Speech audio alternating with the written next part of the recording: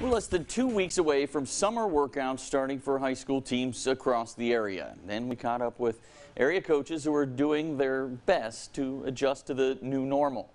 Wesley Boone has the story.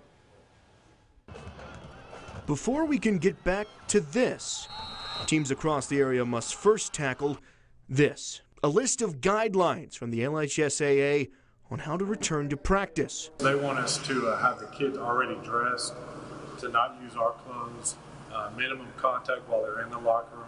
The guidelines still raise questions. If you can't, uh, you can't be in contact and you can't share equipment, you know, how do you practice a safe lift? Airline coach Bo Meeks foresees other issues.